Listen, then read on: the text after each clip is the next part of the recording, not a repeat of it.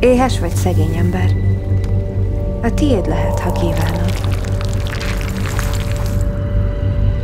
Amikor megszülettél, nem volt semmit.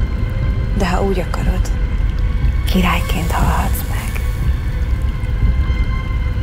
Cserébe nem kérek sokat. Neked úgyse kell a lelked. Nincs más, amit adhatok. Hát legyen. Akkor az egyiket kérem a három közül.